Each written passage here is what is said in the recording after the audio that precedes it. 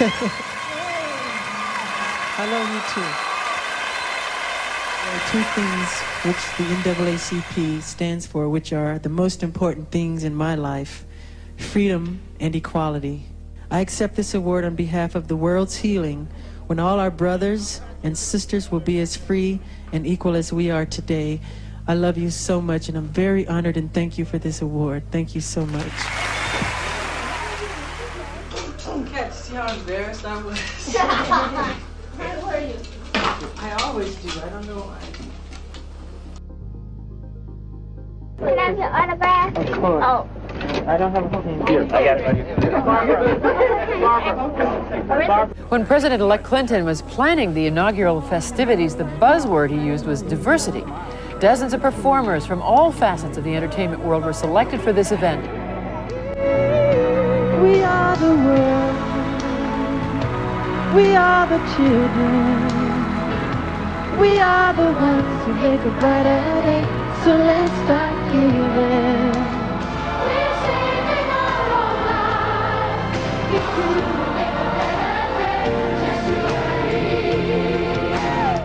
It's been an exciting but an exhausting four days, and it's all come down to this, this final evening. When they bundled up against the cold temperatures and headed across town in a motorcade to Capitol Center for the presidential gala. My friend Ryan was a very bright, very brave, and very normal young man who never wanted to be a symbol or a spokesperson for a deadly disease. Over the years, I've shared many silly, happy, and painful moments with Ryan. And I was with him at the end of his brief but eventful journey. He died shortly after turning 18, the very time most young people are beginning to explore life's wonderful possibilities.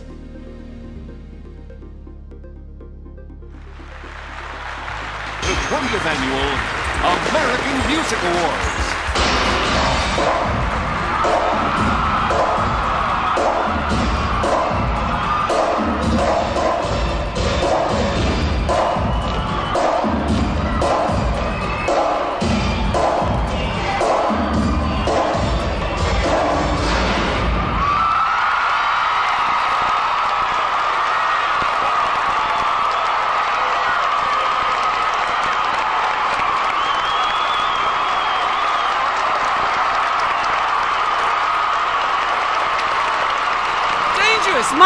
Jackson. Michael Jackson. Hey, hey, hey! Remember the time, Michael Jackson. Thank you very much. I love you up there. Oh. Besides being a friend of tonight's honoree, I'm also his greatest fan. I'm also very aware of the enormous accomplishments that make him the logical recipient of this prestigious award. American Music Awards presents its first International Artist Award to Michael Jackson. Oh, in addition, the American Music Awards are proud to announce that when the award is given in the future, it'll be known as the Michael Jackson International Artist Awards. So, congratulations, Michael. Ladies and gentlemen, Michael Jackson.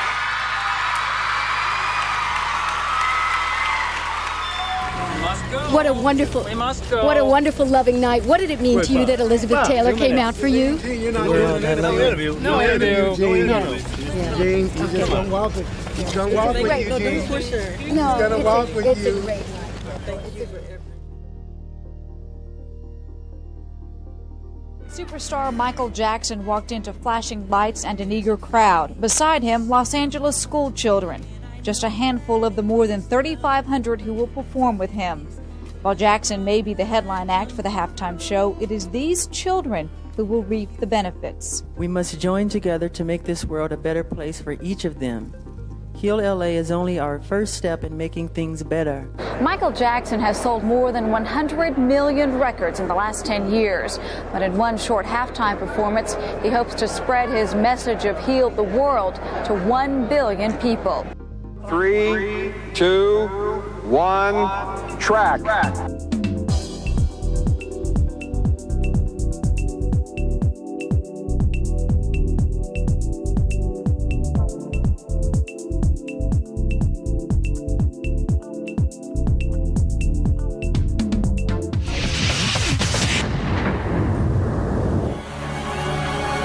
Have to remember, Michael was a gigantic star, so offering him the Super Bowl was not, oh my God, I've got to do that. But when I explained it to him, this will be a platform for you to reach more people than anything else that you could do.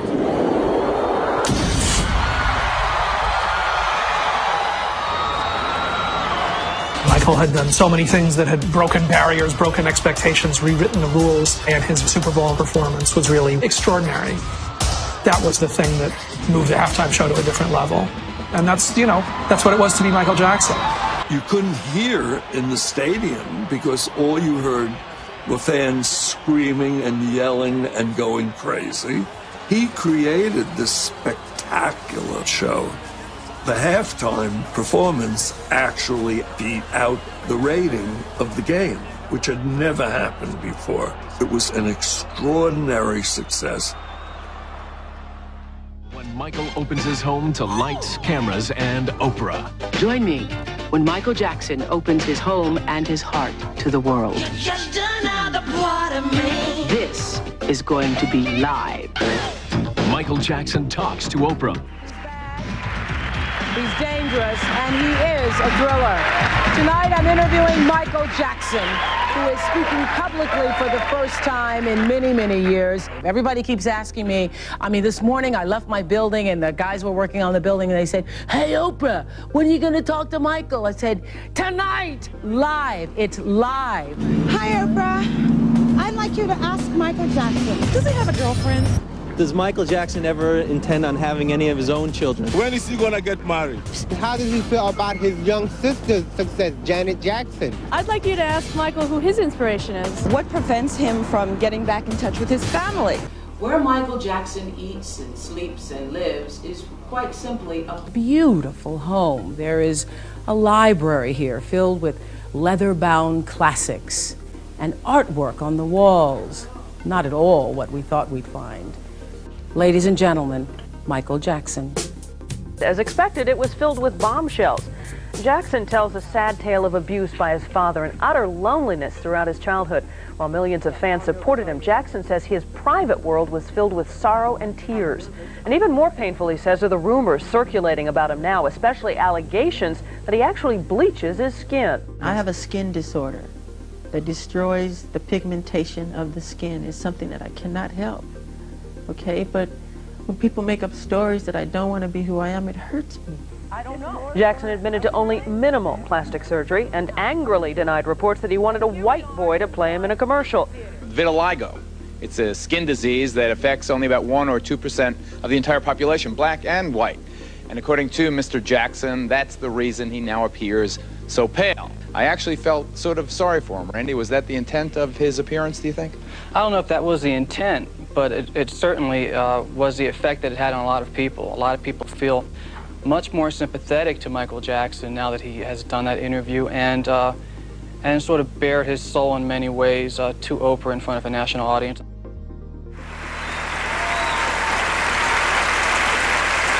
Now I'm very happy to present the Grammy Legend Award for 1993 to my big brother, Michael Jackson.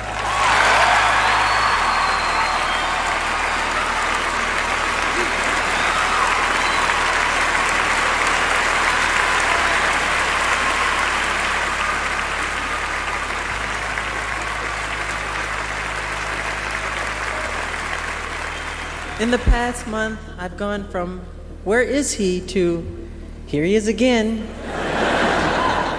but I must confess, it feels good to be thought of as a person, not as a personality. I don't read all the things written about me. I wasn't aware that the world thought I was so weird and bizarre.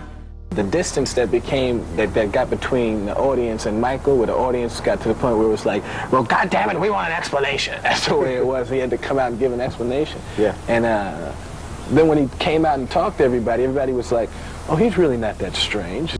Michael sang on, uh, he did a duet, we did a duet together, on a song called What's Up With You. And that's the next single.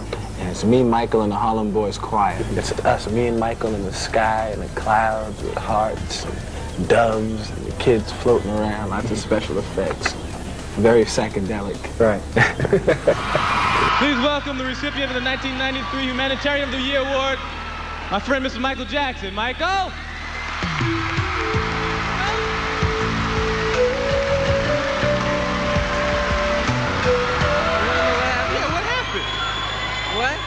Can't just come out like that and not tell us what happened. I mean, I was dancing, and I went into a spin, and I twisted my uh, ankle very badly.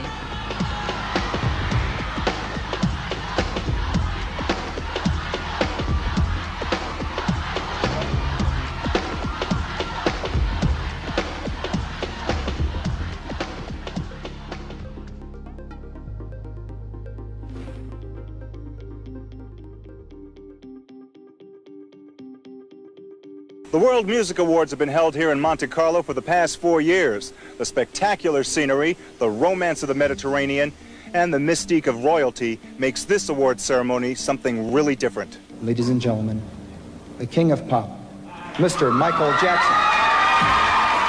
As official host of the World Music Awards, His Serene Highness Prince Albert of Monaco not only introduced multiple award winner Jackson, he found himself in the unusual role of royal attendant. It means a lot to me, for I sincerely believe that through music, could you hold this for me? Would you? Uh... I'm sorry. In the midst of all this, Michael Jackson was involved in a bizarre incident at the end of the show. An overeager fan planted a kiss on Michael's cheek, and they both slipped to the ground. The fan was rushed off stage. No, I'm sorry. Get off the camera. I'm sorry. Get him out. Don't do it. Take him downstairs.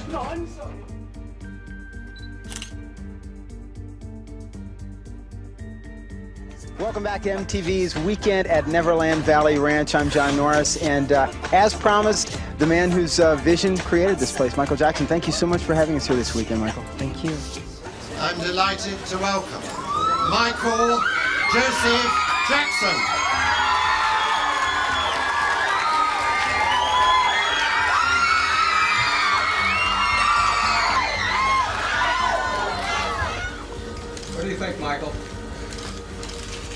Honor.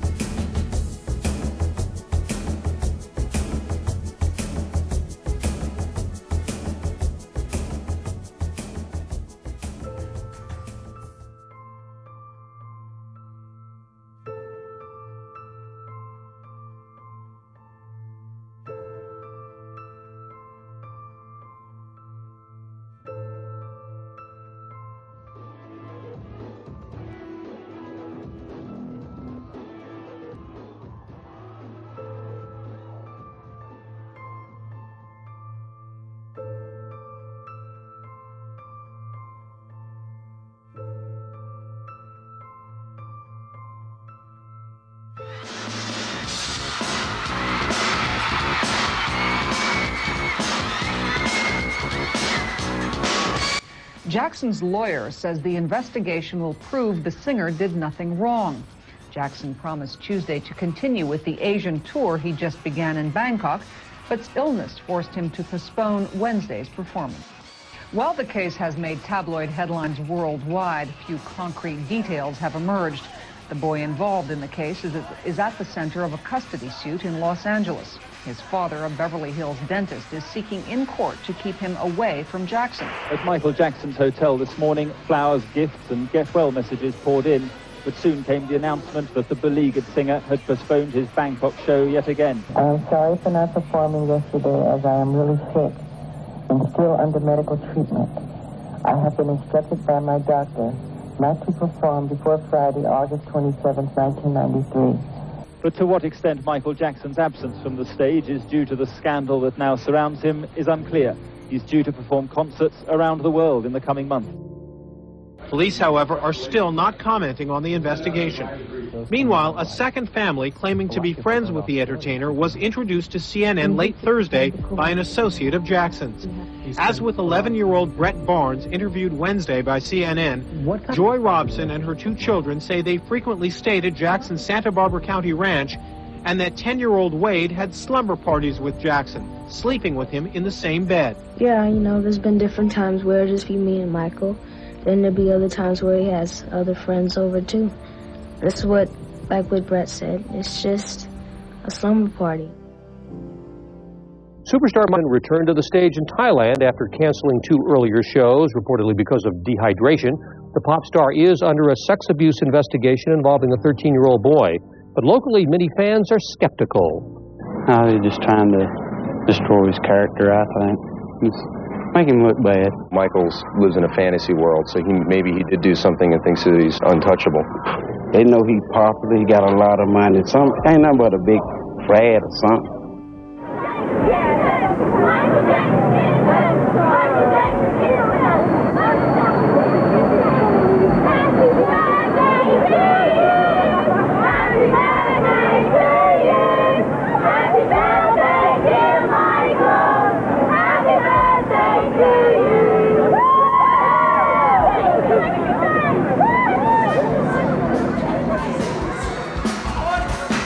Jackson's birthday concert followed renewed pledges of support from show business friends and family. Jackson has spent much of his 35th birthday in the privacy of Raffles Hotel, being comforted by his close friend, the actress Elizabeth Taylor. Michael is one of my best friends in the whole world, and I can't think of any worse thing a human being could go through than what he's going through now. I believe in Michael's integrity, his love and respect of children. Uh, I know it will all come out all right, but he's here all alone, and he's going through a terrible time, and I just wanted to be with him. So tonight, growing fears over Michael Jackson's fragile health. Is that is that your breakfast? Yeah. That's all you want to eat? Okay. Michael's family immediately rallied around him and called their own press conference to show their support. They were adamant that the allegations were nothing more than a cruel and obvious attempt to take advantage of Michael's fame and wealth. Their belief was backed up by a taped telephone conversation in which the child in question's father declared his intention to win big time and destroy Michael. This man is going to be humiliated beyond belief. He will not believe it. He will not believe what's going to happen. Yeah. Beyond, beyond his worst nightmares. Sell one more record. If I go through with this, I win big time. I will get everything I want. What do you think of just the oh. the uproar, like the this? I think it's we need a story. It's- it's- story. it's- it's The press needs a story. Doesn't matter what the story is. It's a story. Why don't you ask know? La Toya? She'll do This it. starving Yeah. child. La Toya, what do you think of La Toya? This is it. But basically, La Toya, you're drawing your own conclusion that Michael abused young men, young boys. No, I'm not drawing my own conclusion that he abused young boys. Um, let me ask you a question. What 35 year old man do you know that sleeps with little boys and stays with them for a week or two weeks or whatever?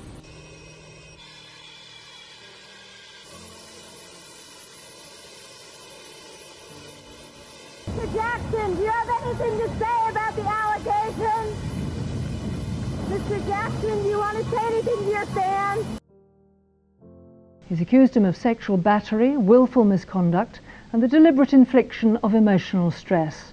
The Los Angeles police say there's insufficient evidence to lay formal charges. Michael Jackson, who is in Moscow as part of his world tour, has consistently denied the claims. Michael Jackson's Russian fans seem unperturbed by the civil lawsuit now being brought against their hero. There's been no comment here from the superstar himself, who's being driven around Moscow in a motorcade of ZiLs, as if he were a visiting president. Jackson's been trying to take his mind off things with a visit to a Russian army barracks, where he joined the troops on parade.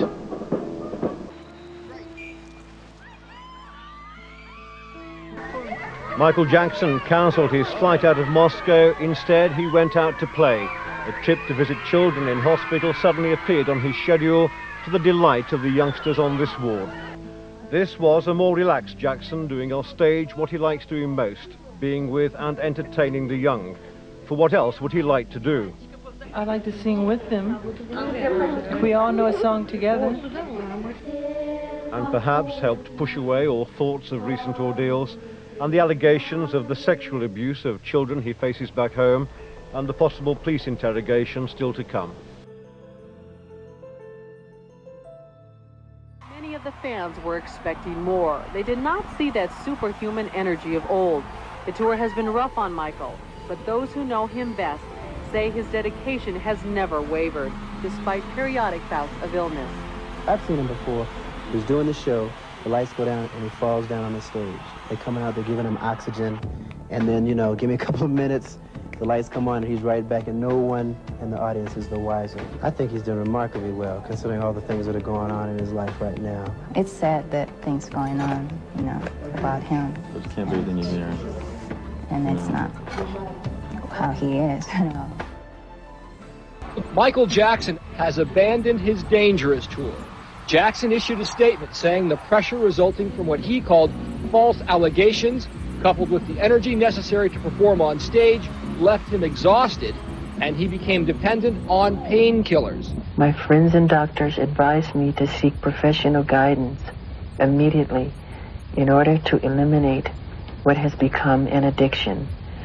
It is time for me to acknowledge my need for treatment in order to regain my health. I realize that completing the tour is no longer possible, and I must cancel the remaining dates. Jackson's scheduled trip to Puerto Rico would have marked the first time the entertainer would have set foot on U.S. soil since the allegations of molestation surfaced in August. This fueled speculation that Los Angeles authorities might fly to Puerto Rico to question Jackson, but the singer has not been charged with any crime.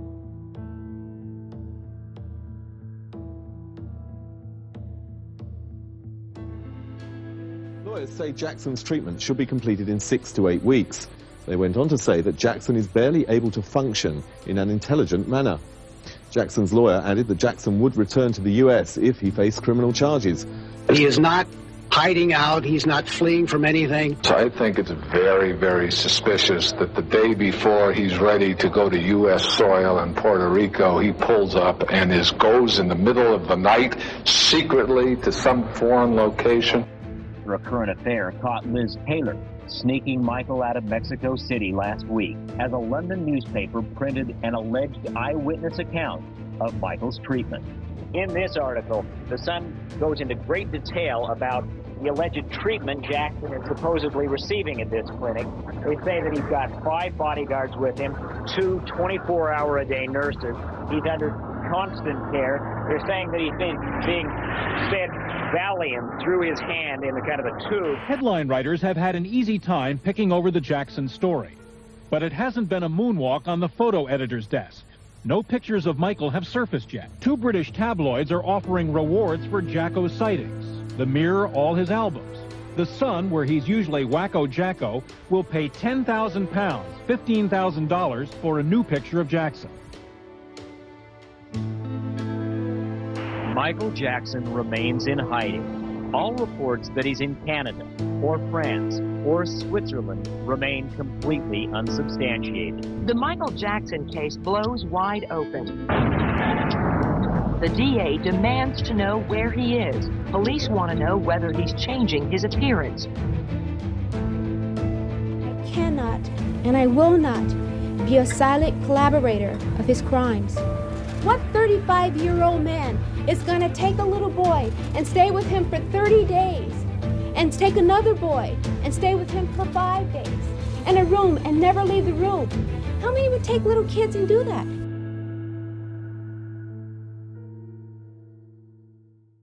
My deepest gratitude for your love and support. I am doing well and I am strong. As you may already know, after my tour ended, I remain out of the country undergoing treatment for a dependency on pain medication. There have been many disgusting statements made recently concerning allegations of improper conduct on my part. These statements about me are totally false. As I have maintained from the very beginning, I am hoping for a speedy end to this horrifying, horrifying experience to which I have been subjected.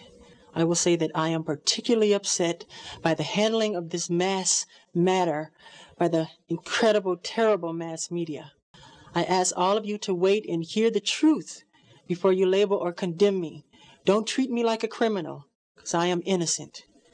I have been forced to submit to a dehumanizing and humiliating examination by the Santa Barbara County Sheriff Department and the Los Angeles Police Department earlier this week. They served a search warrant on me which allowed them to view and photograph my body. It was the most humiliating ordeal of my life, one that no person should ever have to suffer. I am not guilty of these allegations, but if I am guilty of anything, it is of giving all that I have all that I have to give to help children all over the world. I am totally innocent of any wrongdoing, and I know these terrible allegations will all be proven false.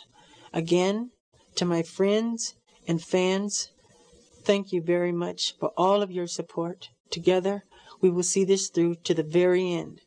I love you very much, and may God bless you all. I love you. Goodbye.